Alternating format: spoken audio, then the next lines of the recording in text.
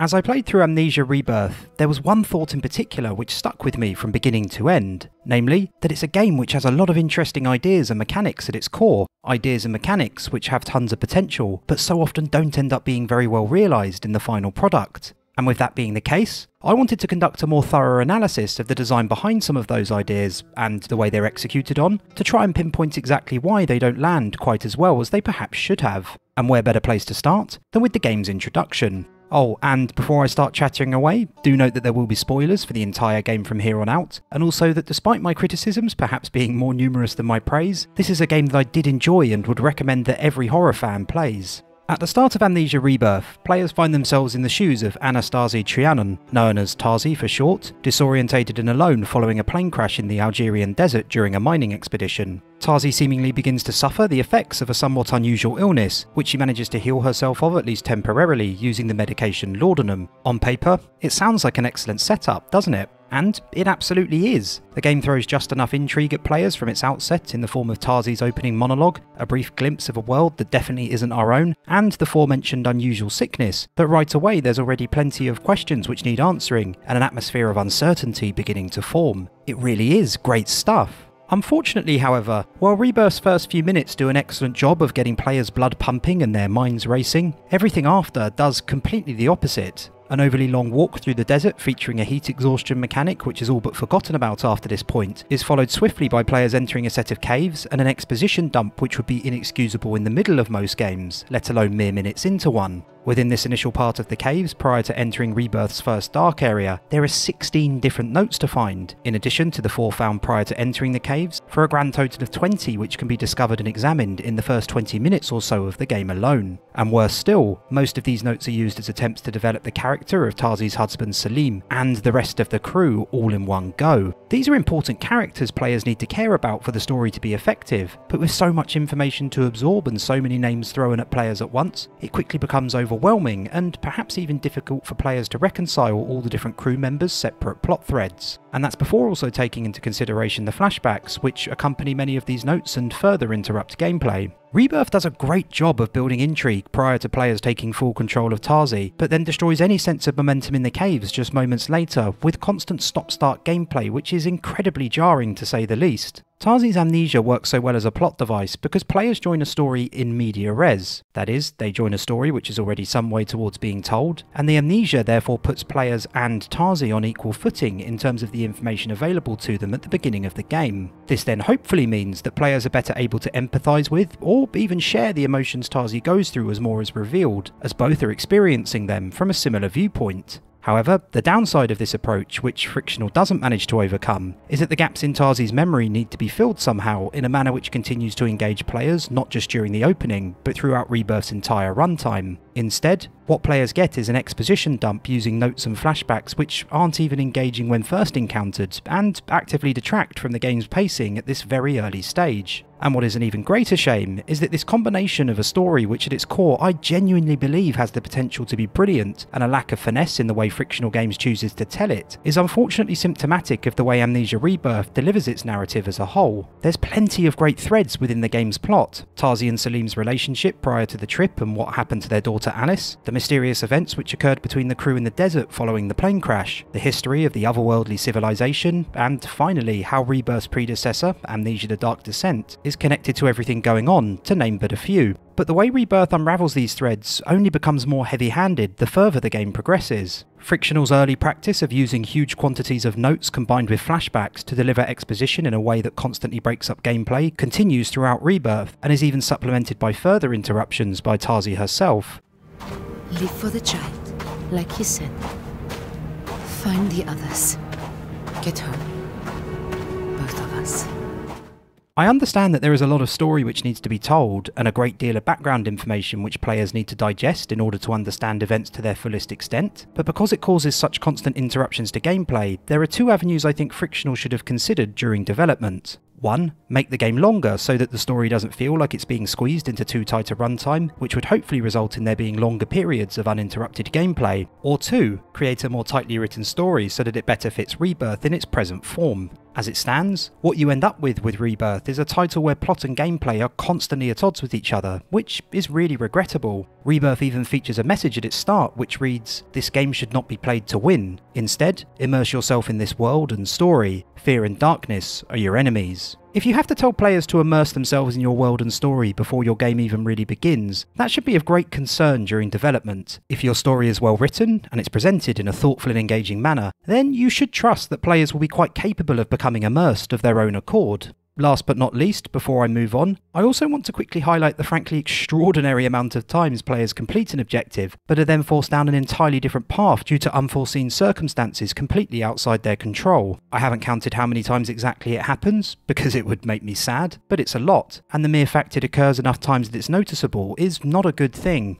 The formula for how events usually play out in Amnesia quickly becomes obvious. Players enter an area and are blocked from progressing for one reason or another. They then solve a number of puzzles, often while avoiding enemies and managing their fear level, in order to clear a path. But then, just as players are ready to move on using this newly created route, some kind of problem occurs, whether it be a fall, an enemy encounter, or something else, which then sets them on a different path entirely. It happens in the fort, as players create a shell, blow open some doors to progress, suffer a fall, pass out, and then have to take an entirely different route. It happens in the hunting grounds, as players prepare to fix a portal to progress, are cornered by the shadow, pass out, and have to take an entirely different route. It happens in the hunting grounds a second time, as players finally repair the portal, are cornered by the shadow again, and have to take an entirely different route, and so on and so forth. Beyond the repetition, my biggest issue is that it simply doesn't need to be this way. The doors at the fort could have just as easily led to the system which follows without including the fall, and there's no reason why the portal in the hunting grounds couldn't have directly led to the other world's theatre. In narrative terms, it could have been written into the plot and still made sense. Tasi, after all, had no other route forward.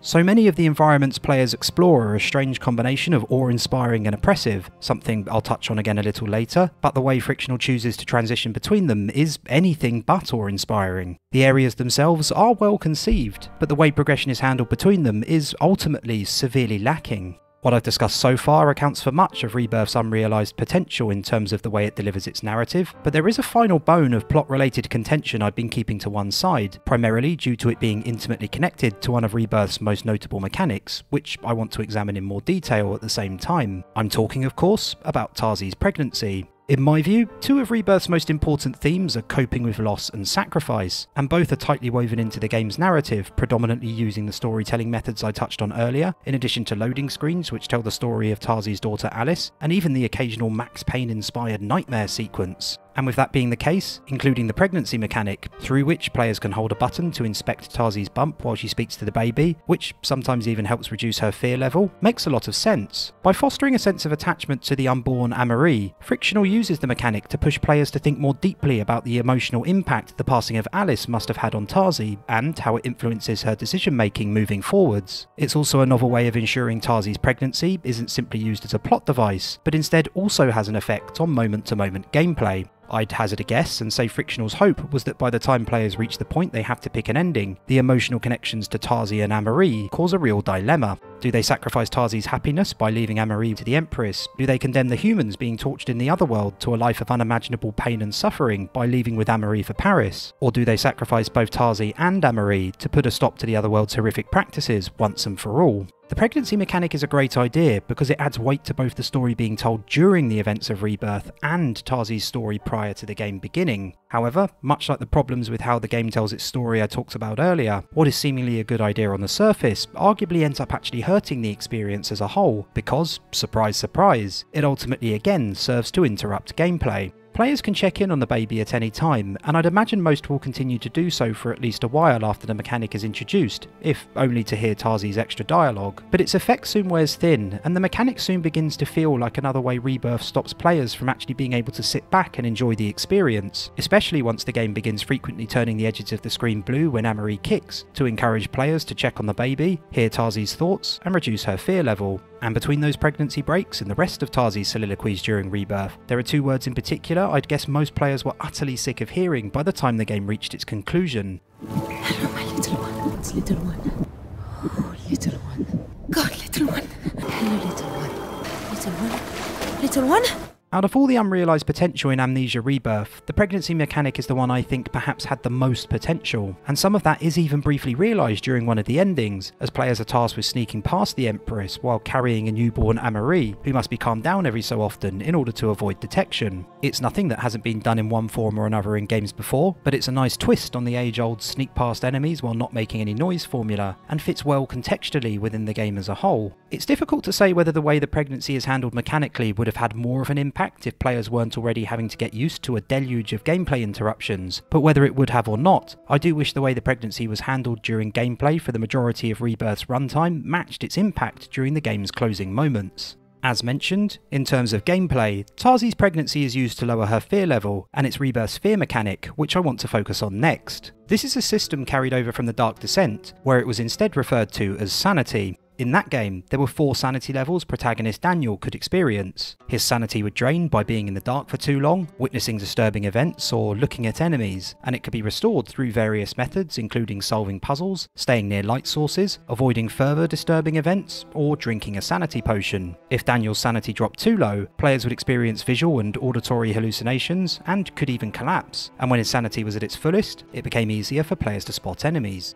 It's also worth noting that sanity was entirely separate to Daniel's health bar, a more traditional mechanic that was also included in the Dark Descent. In Rebirth, fear works in a similar manner to sanity, but also functions as a health mechanic at the same time. When Tasi stays in darkness for too long, witnesses disturbing events, stares at enemies, gets too close to enemies, or takes damage, her fear level increases. As her fear level grows more severe, black tendrils come into view at the edges of the screen, and eventually, Tasi will experience flashing images combined with sound effects. If players do nothing to reduce her fear level, Tasi will eventually be overwhelmed and enter a death state, during which players watch a short scene which ends with them being placed somewhere else in the level nearby. That is of course, unless Tasi's fear is reduced, which can be done by moving out of darkness, illuminating her surroundings using light sources, staying away from and avoiding looking at enemies, using the pregnancy mechanic when Amarie kicks, or consuming the limited supply of laudanum available. A disappointment for many was that the sanity system wasn't included in the Chinese room's pseudo-sequel to The Dark Descent, Amnesia Machine for Pigs, and it's great to see it return in a different form in Rebirth. Conceptually, it's also a fantastic idea, which makes a great deal of sense in the context of Rebirth as a whole. In one way, fear functions as a health system which is drained by enemies, and that's nothing particularly exciting, but it's also heavily tied to the idea of darkness, and it's here the mechanic really comes into its own. It's designed to make players fear prolonged periods spent in darkness, as prolonged periods spent in darkness, much like encountering enemies, ultimately leads to failure.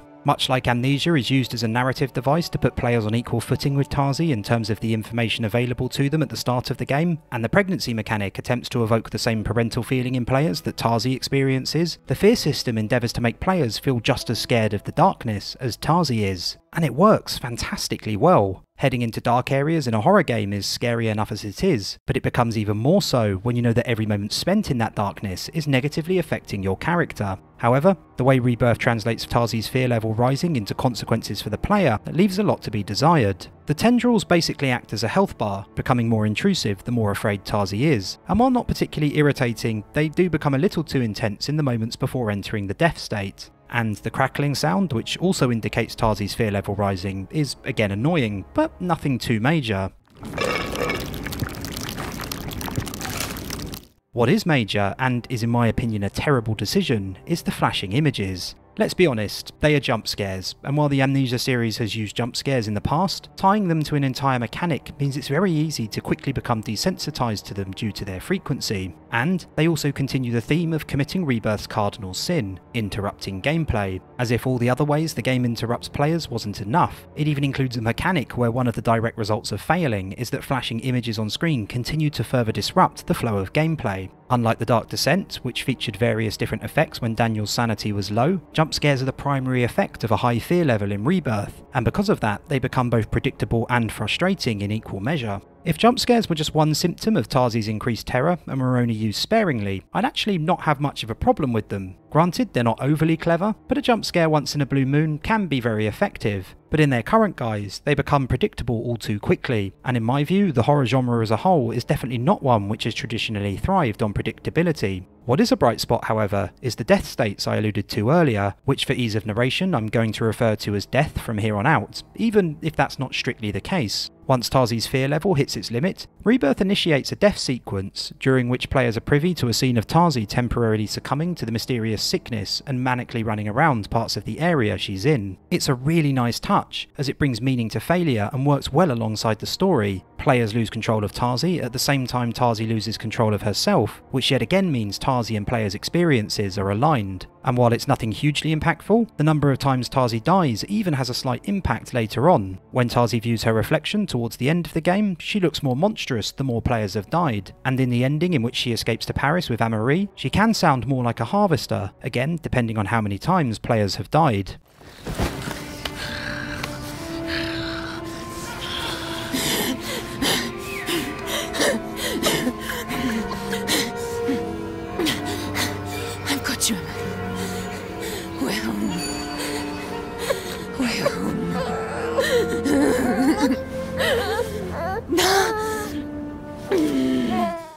But while the death sequences do work in that regard, what comes after is perhaps something of a letdown. Instead of punishing players in some way for dying, Rebirth usually rewards players for their failure, with monsters removed from the area where they died, or Tasi ending up further into the level than where players began, or a combination of the two. I personally have nothing against more lenient penalties for players when they die, but removing enemies and pushing players forward is in my opinion far too charitable. What I would say is that there was a very difficult balance for Frictional to strike. If players keep getting killed by the same monster in the same area, they will soon become desensitized to them in a similar manner to the jump scares I mentioned earlier, and so in that regard, it makes sense to avoid making players repeat the same section over and over again. On the other hand, I do think Rebirth goes too far in the other direction. In its present form, death isn't something to be feared as 90% of the time players will actually be rewarded for making a mistake. As it stands, everything surrounding death in the game is a little all over the place, and I think there needed to be a middle ground. Instead of making players repeat a section until they succeed, or rewarding them for failure as Rebirth does at present, what I would have liked to have seen is a slight change in the enemy's position, say to another nearby room or area, and for players to be moved back a short way from where they died, assuming that one or both of those options are possible to do in the environment where death occurs. It would ultimately help freshen up a formula that at this point is beginning to feel extremely dated. The Dark Descent is now more than a decade old, and it doesn't feel like there's any real difference between it and how Rebirth handles death. Frictional hasn't really changed the formula, and it's becoming increasingly easy to see behind the curtains, so to speak, to the point where much of the tension Rebirth works so hard at times to create is squandered because of it. In The Dark Descent, it felt like a fresh approach, but there was a lot of pushback to the way Soma handled its enemy encounters, which often felt frustrating at times, to the point where Frictional actually ended up adding a safe mode post release, which removed much of the threat its monsters posed. What's clear is that a huge amount of thought needs to be put in by Friction as to how they handle enemy encounters and death in their next title. They just about get away with it in Rebirth, but they're skating on thin ice, and I'm not sure critics and customers alike will be quite as forgiving the next time it happens. Where Rebirth does move away more so from its established conventions is in its environments, especially during its first half. The fort is a particular highlight. It feels like an amnesia environment, but is also far enough removed from those featured in the previous two titles that it makes for an incredibly memorable area. It feels like a place humans actually inhabited, granted one far removed from the kind of habitat most of us will be used to, and it's also where the game's environmental storytelling is arguably at its strongest, combining well with the notes littering the area which gradually revealed what happened to the French Foreign Legion who were once stationed there.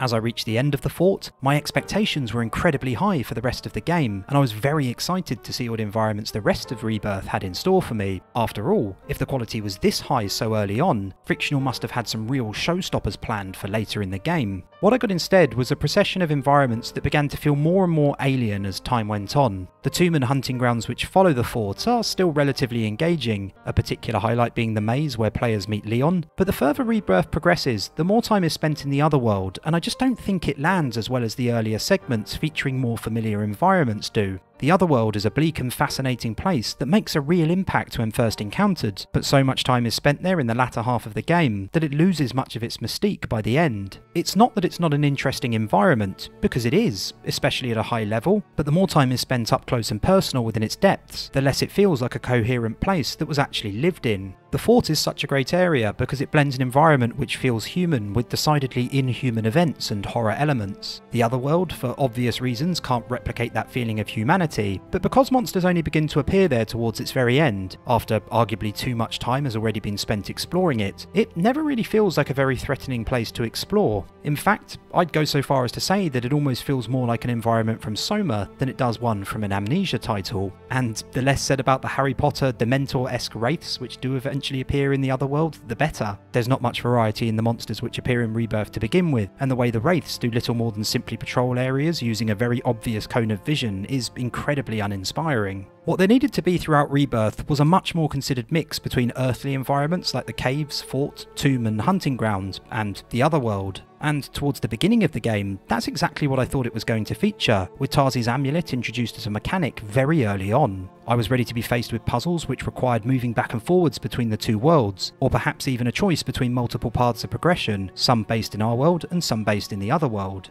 Except, the amulet turns out to be barely a mechanic at all. It's more like another button used to open particularly elaborate doors. It does point towards portals when being held by Tasi, but this is almost entirely unnecessary as the portals themselves are pretty much impossible to miss. Instead of being used to introduce dynamic new choice-based gameplay to Rebirth, the amulet is used as little more than a narrative device, another way for Frictional to easily advance the story to another setting without having to think too much about how to actually make that transition work in terms of the story. Between the amulet and the constant and abrupt changes of direction when objectives are completed I spoke about earlier, the world of Rebirth feels like one that lacks a foundation of consistency. Instead, players constantly bounce not only between different areas, but between different worlds, with little justification for it given in terms of narrative or gameplay, which ultimately actively detracts from the consistency of environment I previously enjoyed so much in Frictional's other releases. Another aspect of Frictional's more recent titles, which has tended to be somewhat inconsistent, is their endings. The Dark Descent featured three endings, and they were fine.